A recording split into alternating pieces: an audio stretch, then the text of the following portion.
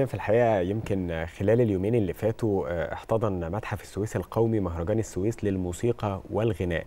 المهرجان اللي ضم ست عروض جمعت ما بين الطرب والتراث بمشاركة بمشاركة فرقة صحبة سمسمية والفنان الكبير هاني شاكر والفنانة نسمة عبد العزيز ونجوم الأوبرا للموسيقى العربية.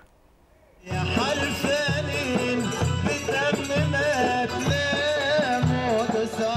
على مدار ثلاثة أيام احتضن متحف السويس القومي خلال الفترة من الرابع والعشرين وحتى السادس والعشرين من يونيو مهرجان السويس للموسيقى والغناء والذي يضم ستة عروض تجمع ما بين الطرب والتراث بمشاركة فرقة صحبة سمسمية والفنان الكبير هاني شاكر والفنانة نسمة عبد العزيز ونجوم الأوبرا للموسيقى العربية. يأتي المهرجان الذي انطلق تحت رعاية رئيس مجلس الوزراء وبالتعاون بين وزارتي الثقافة والسياحة والآثار إيماناً بدور القوى الناعمة في بناء المجتمع وتنمية الوعي.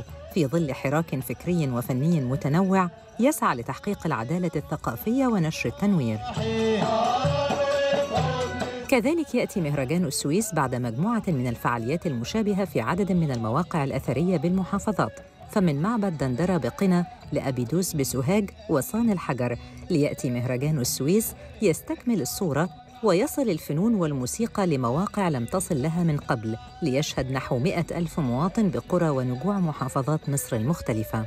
رايات الفن تعلو بمهرجانات تفتح آفاقاً فنية جديدة جاءت في مسار تحديث خطط تحقيق العدالة الثقافية والارتقاء بالوجدان الجمعي ومواكبة للمبادرة الرئاسية حياة كريمة الهادفة إلى تحسين الأحوال المعيشية لأبناء الوطن ونشر الثقافة سعياً لإعادة تشكيل الوعي وتنمية الإدراك.